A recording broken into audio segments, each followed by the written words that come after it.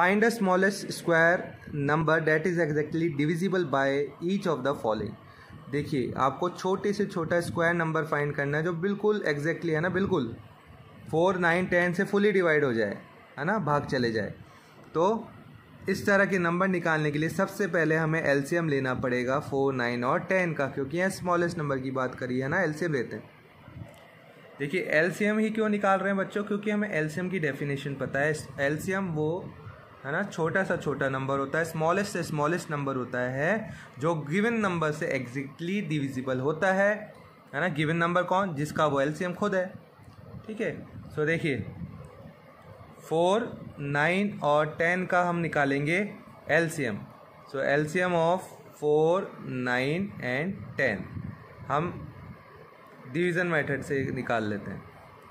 To two जा four nine नहीं जाता एग्जैक्टली लिख दिया। टू फाइव जा, ओके, टू वन जा, नाइन नहीं जाता टू से, फाइव भी नहीं जाता लिख दिया? फाइव वन जा, ओके, देन हम नाइन से ही कर देते हैं डायरेक्ट। एलसीएम ले रहे हैं हम, है ना? नाइन फाइव जा, forty five forty five two जा, नाइन्टी नाइन्टी टू जा, वन एट्टी। एलसीएम आ गया वन एट्टी।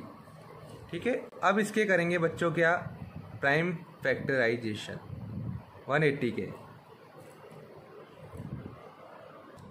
180 के प्राइम फैक्टराइजेशन क्या हो गए?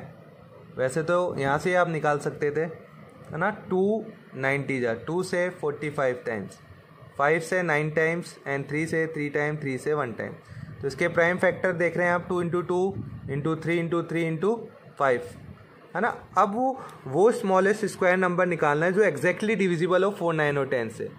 तो पहले इसको क्या बनाना पड़ेगा? इसको परफेक्ट स्क्वायर बनाना पड़ेगा. इसको परफेक्ट स्क्वायर बनाने के लिए आप देख रहे हैं इसमें फाइव मिसिंग है।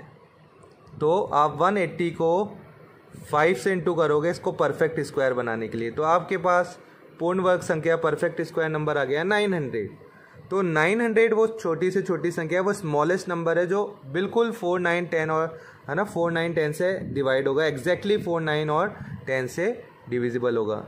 तो आपका आंसर आ गया nine hundred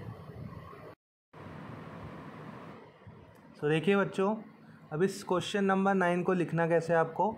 Find a smallest square number that is divisible भाई क्वेश्चन था आपका। तो हमने सबसे पहले एलसीएम निकाल लिया था, ठीक है? एलसीएम निकाला था, हमारे पास आया था वन एट्टी ओके? एलसीएम आया था हमारा वन एट्टी अब यहाँ हम देख रहे हैं कि प्राइम फैक्टर ठीक है? Two into two into three into three into five आ रहे हैं वन एट्टी के। ये भी हमने निकाल लिया था प्राइम फैक्टर निकाल के बताए थे। है ना? तो वन एट्टी एक परफेक्ट स्क्वायर नहीं है, पूर्ण वर्ग संख्या नहीं है। तो इसे पूर्ण वर्ग संख्या प्राइम फैक्ट परफेक्ट स्क्वायर बनाने के लिए आप इसे किससे इंटू करेंगे? फाइव क्योंकि फाइव का पेयर नहीं बन पा रहा था, यहाँ देखिए।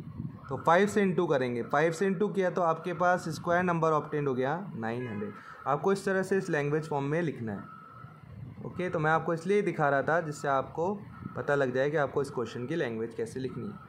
ओके सॉल्व आपको करके बता दिया था।